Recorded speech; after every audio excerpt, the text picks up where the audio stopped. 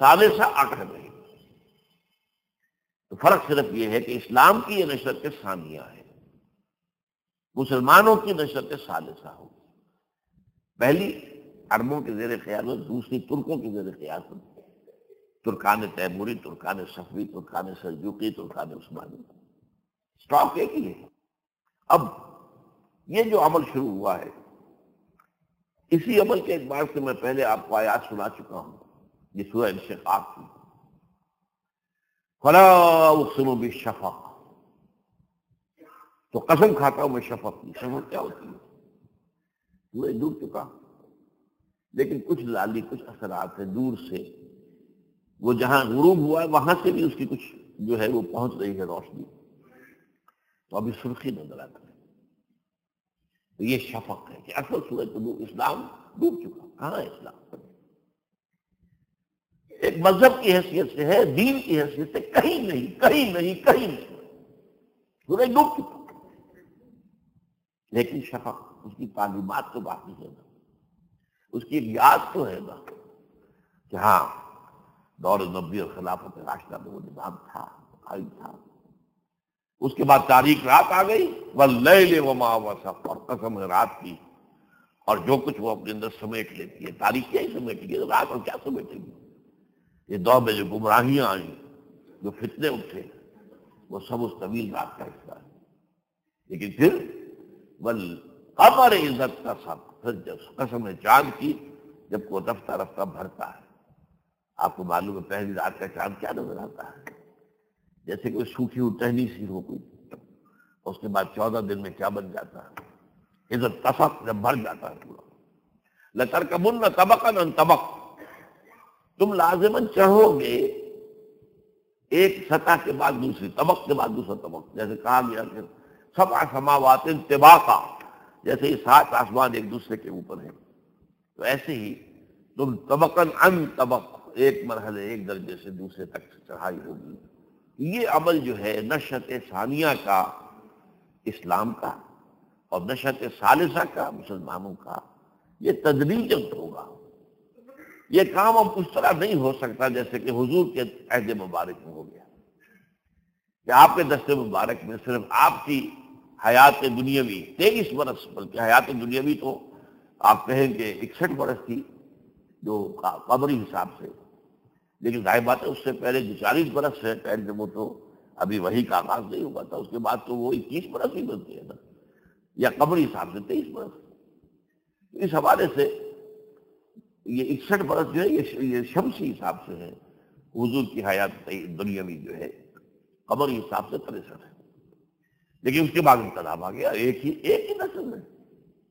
One life span ایک فرد کھڑا ہوا دعوت دینے کے لیے اور ایک عظیم جو ہے نظام دنیا میں برپا کر دیا۔ صلی اللہ علیہ یہ, یہ کام نہیں ہو سکتا۔ ہونا ہے۔ اس پر تو میری اصل گفتگو اگلے جمعے ہوگی۔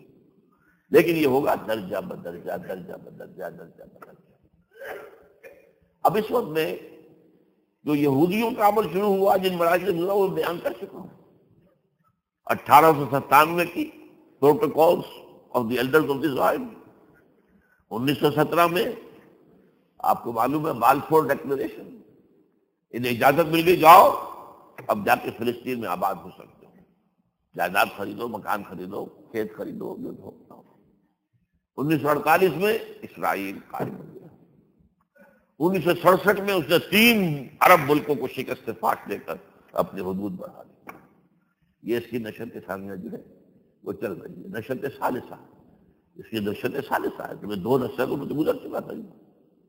لیکن اس وقت اس کا ذکر بھی مجھے کرنا ہے۔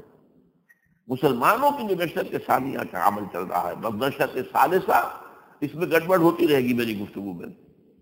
اور اسلام کی نشرت ثانیہ یہ اب ساتھ ساتھ چل رہے ہیں۔ یہ دونوں ملے ہوئے عمل ہیں۔ اور یہ بھی جان لیجیے، جیسے کہ ابھی میں نے کہا تھا، یہ دونوں علیحدہ بھی ہیں، لیکن ایک بھی ہے ملے ہوئے بھی اس لیے کہ جیسے کہ علامہ اقبال نے کہا تو نہ مٹ جائے گا ایران کے مٹ جانے سے؟ نشہ میں کو تعلق نہیں پیمانے سے۔ مسلمان قوم جو ہے، وہ پیمانے کے معنی سے جس میں شراب ہے۔ پیمانہ ٹوٹ جائے تو کیا شراب کا اثر ختم ہو جائے گا؟ مسلمان ٹوٹ بھی جائیں اسلام جو ہے وہ تو باقی رہے گا۔ اس حوالے سے پورا مٹ جائے گا، ایران کے مٹ جانے سے۔ نشے میں کو تعلق نہیں پیمانے سے۔ لیکن وہ شکوہ میں یہ بھی کہتے ہیں، تم کے نظر میں مشہور، کہ ہم تو جیتے ہیں کہ دنیا میں تیرا نام رہے۔ کہیں ممکن ہے کہ ساقی میں رہے جام رہے۔ ساقی تو ہے نا، جو جام کو حرکت میں لاتا ہے۔ اب دیکھیے، جام وہاں بھی ہے، جام یہاں بھی ہے۔ اس جام میں جو شراب ہے، وہ اسلام ہے۔ ساقی جو جام کو اگر جس میں لا رہا ہے، وہ مسلمان تھے۔ جو اسلام کو لے کر نکلے، اور کہاں سے کہاں تک پہنچایا، وہ تو مسلمانوں کے ذریعے سے ہوا۔ تو یہ دونوں چیزیں ایک بھی ہیں اور جدا بھی ہیں۔ لیکن اس وقت میں ذکر کر رہا ہوں، وہ یہ ہے کہ امت مسلمہ کی نشت ثالثہ اور اسلام کی نشت ثانیہ کا عمل ساتھ ساتھ چل رہا ہے۔ یہ عمل جو ہے، یہ ایک بہت سے پہلوؤں کا حامل عمل ہے۔ یہ بسیط عمل نہیں ہے، کوئی ایک عمل نہیں ہے۔ بلکہ میں اسے کہوں گا کہ تھری پرونگڈ اٹیک جیسے ہوتا ہے، فوجی اسلام میں ٹو پرونگڈ اٹیک آپ نے کسی جگہ دو طرف سے حملہ کیا تاکہ وہ جو ایک طریقے سے جکڑ نہیں تھا جو بھی ہدف ہے اسے تھری پرونگڈ اٹیک ہے کہ جو کفر کہہ لیں امت باطل کہہ لیں حزب اللہ کے خلاف جو عمل شروع ہوا ہے اور جو ہو گیا تھا پچھلی صدی میں۔ وہ جیسے ہی ہمارا انتہا کو پہنچا، زوال، پہلی جنگ عظیم کے بعد، انیس سو چودہ میں۔ سلطنت عثمانیہ کا خاتمہ اور پورا عالم اسلام، یورپین کولونیل پاورز کا غلام۔ یہ لوئسٹ ایپ کو ہم پہنچ گئے۔ تھے لیکن اس کے بعد آپ زیادہ سے زیادہ کہہ لیں کہ دس سال کے عرصے کے بعد ہی ایک اپورڈ موومنٹ شروع ہو گئی۔ اور یہ کئی سٹیجز سے گزر چکی ہے۔ ابھی کچھ مراحل طے کرنے ہیں۔ لطر کا بن طبق طبق۔ یہ بھی یاد رہے کہ ہم کچھ نہ کچھ فاصلہ طے کر آئے ہیں۔ اس سے امید بنتی ہے۔ اور یہ کہ مایوسی کے بادل چھٹ جاتے ہیں۔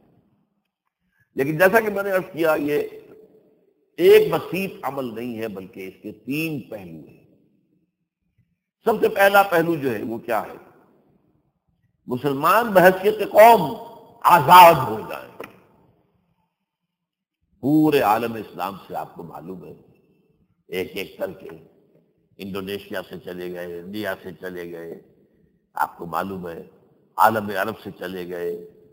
ہوتا ہوتا پورا عالم اسلام تقریباً آتا تھا یہ پہلی سٹیج ہے، یہ بھی در حقیقت اگرچہ احیاء اسلام سے اس کا براہ راست کوئی تعلق نظر نہیں آتا۔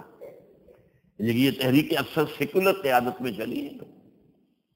انڈونیشیا میں سیکاگو ایک خالص سیکولر ذہن کا آدمی تھا، اس کا مذہب مذہب سے کوئی تعلق نہیں تھا۔ ہمارے یہاں قائد اعظم بھی اپنی ابتدائی شخصیت کے اعتبار سے سیکولر ذہن کے آدمی تھے۔ مذہب سے عملی طور پر ان کا کوئی بہت زیادہ جو ہے، ظاہر تعلق نظر نہیں آتا۔ اور اتاتر تو آپ کو معلوم ہے کہ وہ تو خالص سیکولر اور یوں سمجھیے، ایک اعتبار سے اسلام بشور شخص تھا۔ اگر ایک وقت میں جبکہ حالات زیادہ معلوم نہیں تھے، تو اتاتر کو سمجھا گیا تھا کہ عالم اسلام کا بہت بڑا ہیرو ہے۔ مجھے آج تک یاد ہے، انیس سو اڑتیس میں میں حیران ہوتا ہوں کہ اس زمانے میں کچھ اتنی ایکٹیویٹی تھی، سیاسی اور ادبی، کہ میں چھ برس کی عمر میں بتیس میں پیدا ہوا، اڑتیس میں۔